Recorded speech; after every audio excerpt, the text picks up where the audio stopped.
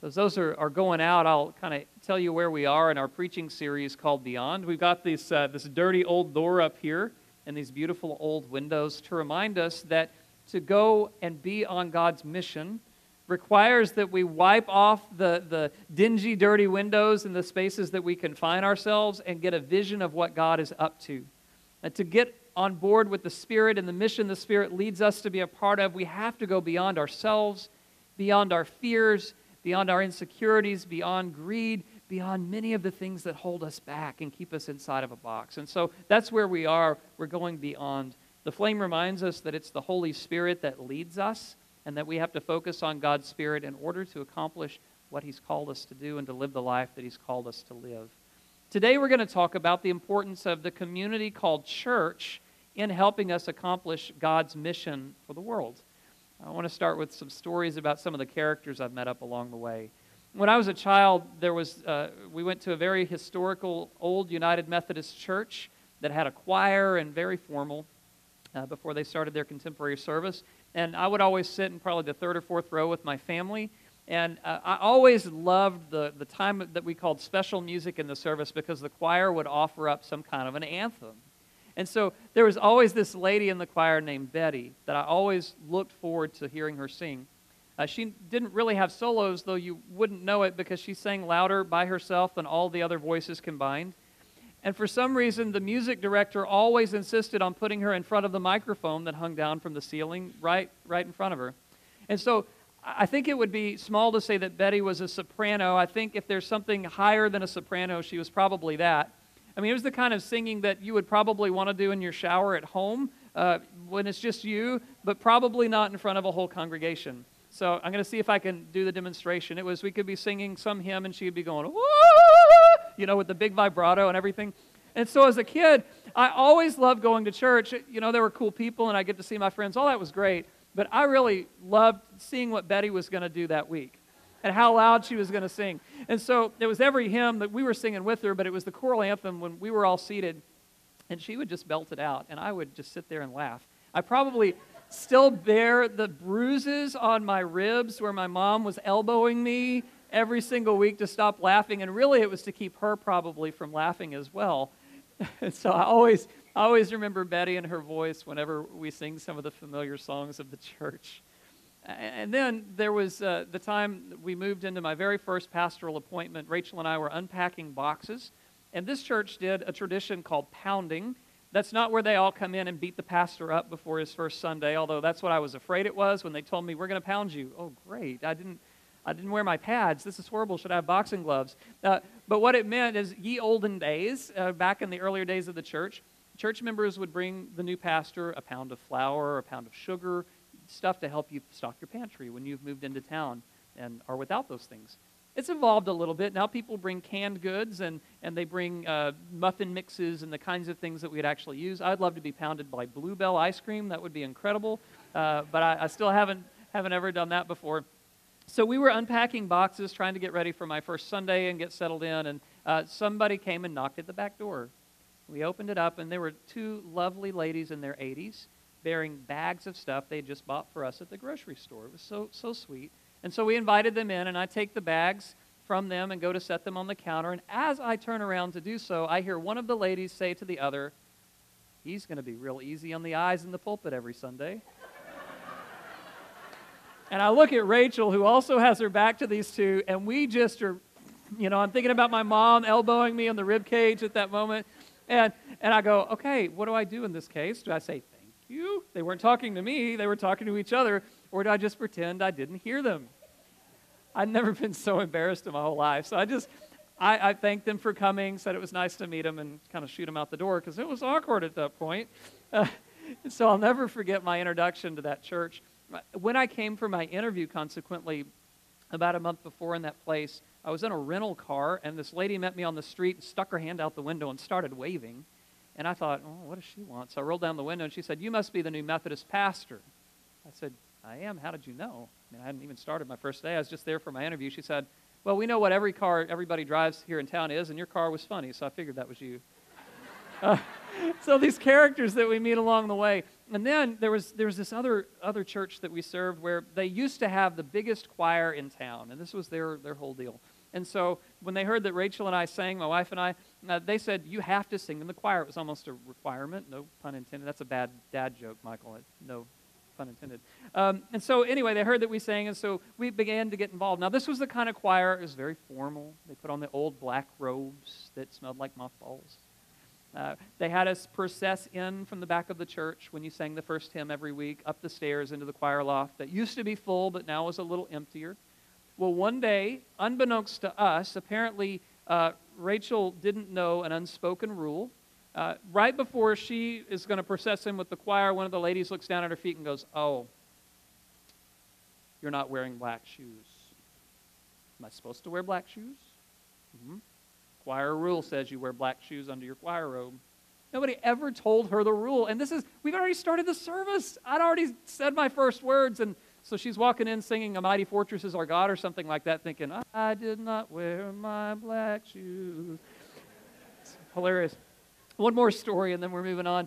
Uh, and then there was the, the church that I served. Our piano player was a volunteer, and he led the choir, but he could sing just like Elvis. So every time he sang a solo in church, it was, oh, kind of Elvis style. And he would go and take members of the choir to, to nursing homes, and he would sometimes dress like Elvis and do the whole, like, oh, thing like that.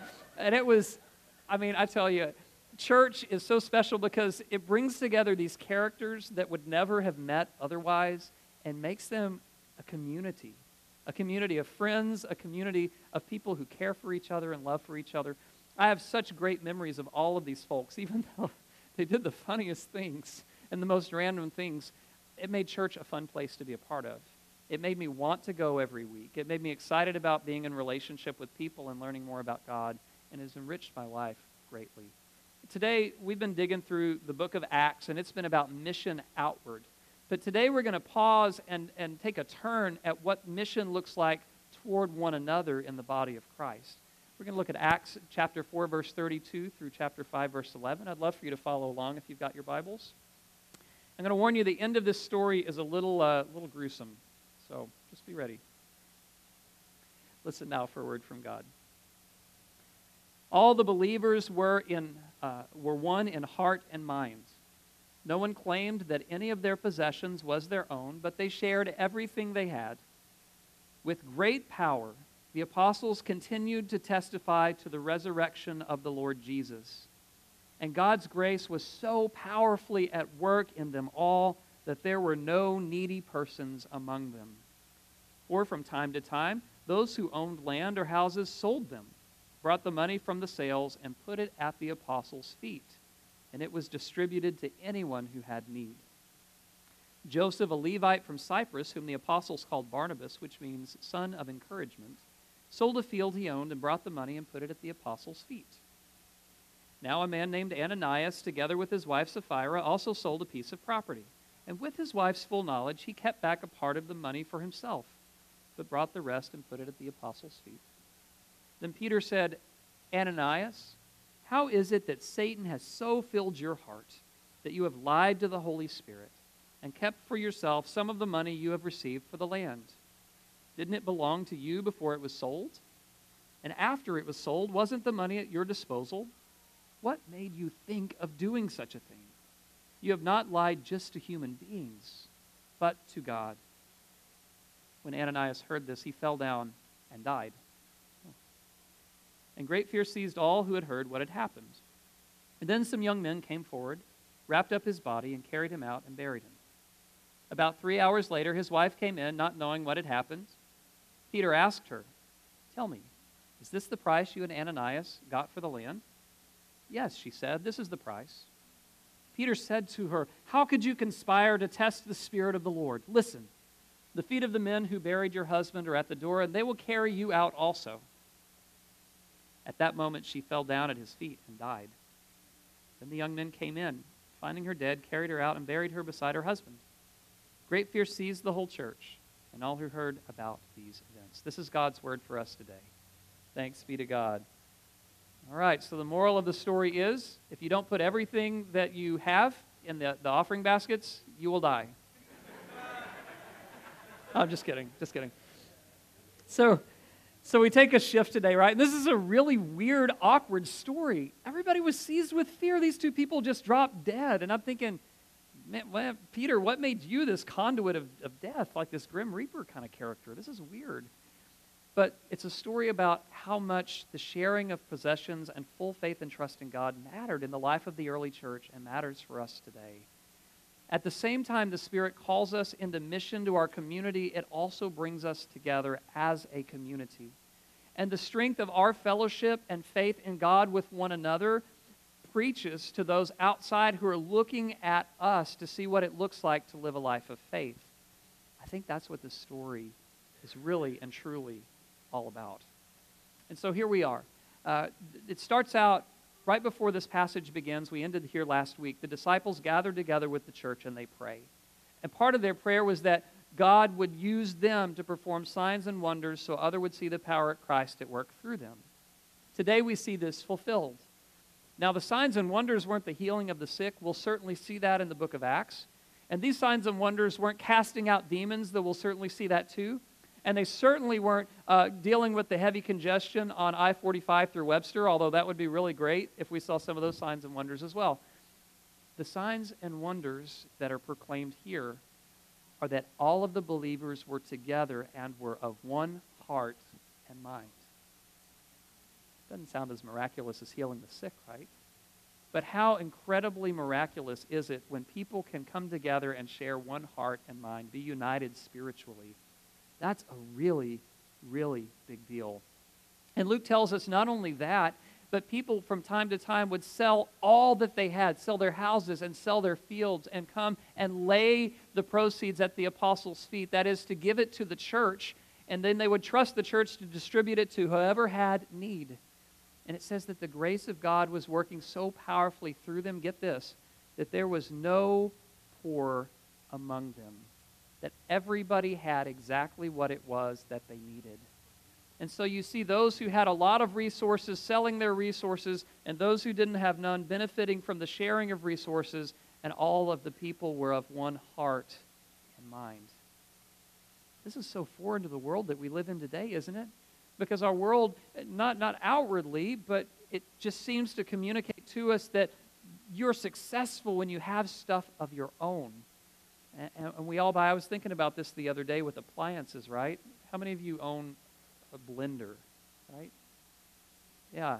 That, look at all the blenders that the blender people get to sell because we all have our own blender. I mean, holding private property of our own is advantageous for the world at large. And so the world's going to keep the systems going that perpetuate the success of the systems. But here we have this teaching that says they sold everything and held all things in common, and there was not one needy person among them. I wonder what that would look like if we practiced that today. I don't know where they lived. that part's not really in the scripture, but, um, but they trusted that God was going to provide for them and they trusted that the resources that they had came from God first. They tell two stories, and I want to show you this. The story of Barnabas contrasts with the story of Ananias and Sapphira to show what it was like to live in trust of God in this resurrection life and what it was like to live with this mindset of scarcity, to not fully trust in God and not fully trust in the community and kind of keep themselves isolated from it. The first brings life to the person, the second brings death to the person. So Luke tells us this story about a man named Barnabas who's a Levite. Uh, he's one of the, the people of Israel, one of these people that uh, had a special place in the, the work of the temple. Uh, he had a field and he sold the field and he gave all of the money to the church to be distributed to those in need. And he's called Son of Encouragement. He was the, the prototype, really, the one that we all look to, to the way the church was supposed to operate. And then there's Ananias and Sapphira. They also had a field, which they also sold. Now, they had vowed as part of the community when they sold a field or a house, they were going to give everything to the church. That's the promise that they had made. But instead, they went, you know what? The church will never know if we don't give all of the proceeds from the sale like we had vowed to do. And so let's just keep back a portion for ourselves. We'll call it our rainy day fund. So if this whole Jesus thing doesn't work out, if this whole faith in God thing doesn't work out, then we'll be okay. We'll have enough left uh, to live on, and we won't have to worry about anything. And so they agreed together to do that. And so they sold the field, and Ananias comes in and he lays the proceeds at the disciples' feet and says, This is the full price we received for the field. Okay, so not only did they break a vow that they had made to God and the church, but they also lied overtly about what was going on. This story points back to a couple of stories in the Old Testament where there was conspiracy over the sale of land, where people held back for themselves what they had promised to God already, where the penalty was death. The moral of the story, I think, is that when we truly trust in God, when we truly trust in Jesus' resurrecting power, and we truly believe that this is uh, for us here in this life and not for just this uh, by and by, pie in the sky kind of thing, then it changes our lives today, right now. And we have to put our full faith and trust in it. To choose resurrection is to choose life. To choose greed and to choose self centeredness and self sufficiency is to choose death. That's the end. And so this story teaches us two sides of the same coin. Now we have to know something about Luke. Luke believed that, that there was a spiritual unity here. And Luke wrote Acts, right? So we can go back to his gospel to see what else he, he said about the topic of money and generosity. But Luke believed that a spiritual unity also spilled over into the physical and financial realms. We have to get this that when we give our lives to Christ, our lives look different to the rest of the world. The way that we view our stuff, the way that we use our money, the way that we spend our time, all of that changes in the blink of an eye. I mean, this is Luke. The, the last time he talked about uh, the, the, when he, he looked at Ananias and Sapphira, rather, he looked at them and said, Satan has entered you. The last time Luke said that was when Judas betrayed Jesus to death for a sum of money. It's the same thing. He says that this, this is not right. That's what that message is. This is Luke who told the parable of the man who had an abundant harvest, so much so that he didn't have room to store it all up. And so he tears down his barns, builds bigger ones, keeps everything for himself, and says, All right, I'm 35, I can retire, eat, drink, and be merry. And he says that, You fool, tonight your life's going to be demanded of you. Who will inherit all of this stuff that you've stored up for yourself? Luke says the way that we use our possessions and our stuff really and truly matters say it this way the Barnabases of the world who share freely out of what they have been given create healthy communities of faith, healthy churches that make a difference in the lives of those who come and those who are not yet a part of it. Think about this church, for example. Everybody is welcome. Every single person, it doesn't matter where you live, how much money you make, what you've done in your past, everybody is welcome to come and to be one family. Those who sing like Elvis and those who really shouldn't take their singing out of the shower can come together and be one people. Ah, you know? And it works. We become one family and our lives are enriched because of it. There's no other organization on the planet that is like this. We're a community that brings all children together, no matter what their family situation looks like, and teaches them how much Jesus loves them. We're a community of faith that ministers to every single marriage, whether it's healthy or struggling, and says, We care about you so much that we want you to have a strong marriage. How can we help you? We're a community that says, We don't just, it's not about giving to the church, it's about finding freedom in your financial life. And so we want to provide ways to help you get to a healthier state financially so you don't feel that burden. You feel this church when it's healthy, when there's Barnabases among us who give freely to the fellowship, everybody benefits and we're all stronger because of it. But when we act like Ananias and Sapphira and we keep a little bit back and we don't give God what we could give, then the church suffers. Let me tell you a story. One of the places that I've been pastor, uh, we had a problem. Uh, it was a three story building that had a basement, and every time we had a really hard rain, the basement would flood. Now, this wasn't just the kind of basement that we Texans think of. I wish I had a basement because I'd store all my extra stuff down there, right? I mean, basements were functional in this part of the country. And so it had our kitchen, our fellowship hall, our youth room. I mean, this was the gathering space for the whole church when we came together. And so every time there was a hard rain, I would go down there reluctantly and go, okay, how much water are we going to have to clean up this time? And so I'd assess the damage, and then I'd get on the phone and call the phone tree. And I have to admit that this was always in vain because I knew it was going to be the same four people every time uh, that made themselves available to do this. It was Rachel, my wife, it was our trustees chair, our treasurer, and me. And we would spend three hours, three and a half hours with little shop vacs, anything that we could get to sop up water, and vacuum it up and dry the floor until it was all gone. Now, if the church didn't have the money, which it didn't in its treasury, uh, that would be one thing. We barely made our operating budget. We always paid our bills, so that, that always good. We made our budget every year, but we didn't have any extra. But the thing was, there was enough money among the people who attended that church to where this didn't need to be a problem anymore. You may ask, why are you telling a story about a flooded basement? Have you ever been in damp basements that seem to hold water? They smell really bad.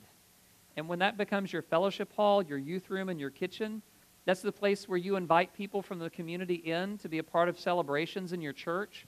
That's the place where Vacation Bible School gathers for meals. This is the place where you assemble for funeral meals. All of a sudden, it doesn't smell like you care much about the house of God. It doesn't show that faith is a priority to the people in the church. And that's not the kind of church people want to be a part of. That church declined over the years because they weren't giving generously to keep up the property that God had entrusted them with. And all things pointed to death instead of life. You see how this story begins to take legs? Healthy churches are made healthy by the generosity of the people sitting in the pews. That's why I'm so thankful to be a part of the watershed. Look at this beautiful facility. We, we live this out. We have this is our shared property. You've given so that we can have this space. But the goal isn't this space alone. This, this space enables us to do ministry for children and for families. It enables us to do vacation Bible school and, and, and to have a staff that's accessible for our community to gather and connect with us during the week. You have made that all happen because of your generosity. Everything over and above the operating budget goes out in ministry and mission to the community. But we're at a place in our church where we've grown so fast that, that we're not meeting our operating budget. It takes all of us being Barnabases, doing what we can, even if it's just starting with $5 a month or $20 a month to make it all happen. A church is only as healthy as the generosity of its people. But you know, I began to be convicted as I read the scripture this week that, that if churches truly are to be a, a generous place, the church has to make it easy for people to give. And right now, we're, we're not all that easy. I mean, you can give on PayPal online you can go to your own bank and cut a check through your own bank, but we don't currently do bank draft and, and we don't currently have a system that automatically allows you to give each month. We're going to be working on that in the days ahead. And I'm also thinking to Ananias and Sapphira in this story probably lived in fear that they weren't going to have enough. And, and that's a situation where the church has to begin to come alongside of people and say, We want you to not be bound by your finances and fear about paying your own bills. We want you to have freedom. And so we're going to launch Financial Peace University in September to help folks. I've been through that course now. Uh, I attended part of a second uh, offering of that. It is a powerful and transformational course that I hope some of us will be able to participate in in the fall. So watch for that to come out. I believe that church should be a place of hope and healing and freedom where we come together for the benefit of each other and for the community. And so let me ask you these questions, all right? What is the way that we give, communicate about our faith in the resurrection of Jesus Christ as a church? How are we doing? Let me ask you this. In your own life, what is the way that you are able to be generous, communicate about your faith in the resurrection of Jesus Christ? Does your generosity show that, that you really believe in the power of resurrection to bring new life here and now, or does it show that you're still bound by the way the world views money and giving and personal property? Are you more like Barnabas or Ananias? Who do you want to be more like? the story really convicted me because it taught me the power of all of us buying into this, this Jesus project, this powerful transformation that comes from giving our lives fully to Him. This isn't a story about giving money to the church, it's a story about trusting God. It's a story about not seeing life as, as scarce, where resources are scarce, but seeing life as abundance, that everything belongs to God and that if God has taken care of us when He's allowed us to steward the property that's in our care, He's going to take care of us when we share what we have with others. I think that's the story today. May we too be as generous as Barnabas in this story so that others will see our faith and trust in the power of the resurrection and want to give their lives to something greater than themselves. Let's pray. Heavenly Father, we thank you for this very difficult story that's dropped right down in the middle of this book, all about uh, generosity, uh, all about mission, all about going out and, and spreading your word. God, we thank you that word and deed go together, that words aren't just empty, but they're accompanied by action. As James said, faith without works is dead. God, I, I thank you for each and every person here and for the sacrifices they make to support the church, to be generous with what they've been given. God, I, I just pray that you would empower all of us to be bold in our faith and trust in you, to be not bound by our fear of not having enough money to pay our bills, Lord, but to feel free uh, in our finances to be able to be a generous people. Lord, as we invite our missionaries up here in a moment for UM Army, I pray that they would be able representatives of our church, that they would go out and serve with joyful hearts, people that they've never even met before and that they would make you proud in serving. God, we don't want to be a church that just focuses inward. We want to be a church that focuses outward in faith and trust in you. And we want others to see our faith and to place their faith in you. So, Lord, lead us as we, we strive to be that people. We pray all this in the powerful and mighty name of Jesus Christ, our Savior. Amen. This time, I would invite all of the missionaries.